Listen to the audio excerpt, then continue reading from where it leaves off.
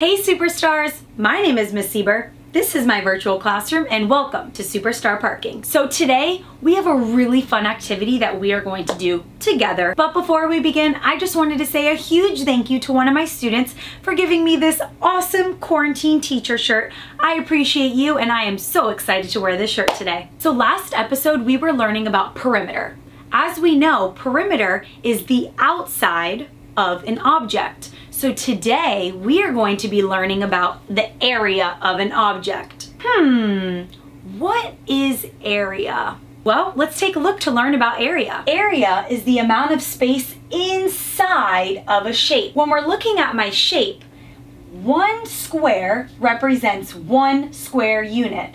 So here, this is one square unit.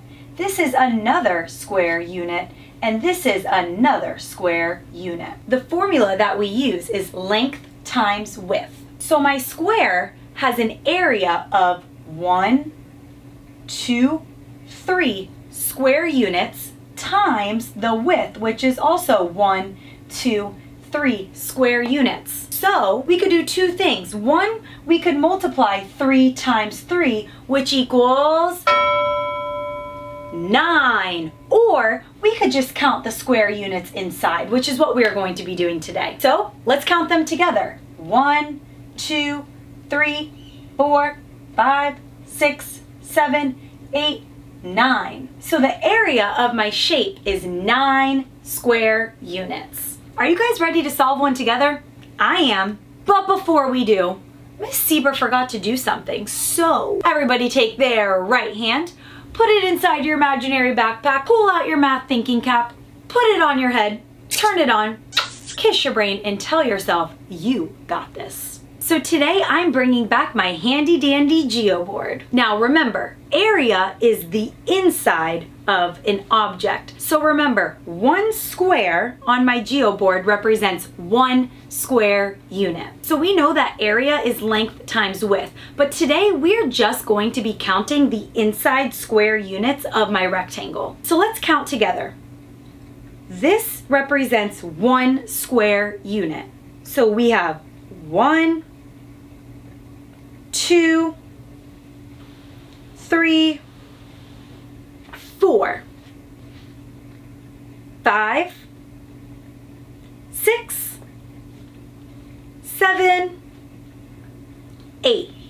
So the area of my rectangle is eight square units. I don't know about you, but this geoboard is a little boring. So Everybody put on your virtual walking shoes, put on your virtual glasses, and I wanna show you something outside. Hey guys, so as I was heading outside to our destination, I wanted to show you something super cool that was added to the RAWW Fishing family today. Are you ready? These beautiful little koi just got delivered today.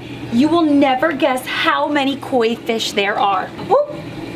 Scary Mary. They will actually come up to your hand and take the food right out of your hand. But since they're still babies, we haven't really fed them yet since they only got here a few hours ago. Watch this. I think it's just because RAWW Fam has the magic touch, huh? Yeah? Look at them, they're all trying to eat out of my hand. Oh my goodness. Hi, they're so cute. They just suck on your fingers. Say what's up, RAWW Fam. What's up? By the way, did I mention that 380 koi fish were delivered here today. I'm gonna say that one more time. 380 fish all the way from Japan and you guys got to see it first. Well, second, but whatever. Are you guys ready to go to our final destination? Yeah. Let's go. All right guys, here at my house, my brother has actually been building this awesome Lego pond. Look how cool it is. Look at all the colors. I love it and I hope that you love it. So today we are going to be actually figuring out the area of the top of the Lego pond. Like like right there? So here's what Miss Sieber did. I climbed up top, I took a picture, I drew some square units, and now we're going to go back inside. I just wanted to show you the pond. And we're going to look at the picture and figure out what is the area of the inside of my Lego pond. Are you guys ready? I'm ready. Let's go. All right. So we were just looking at the Lego pond.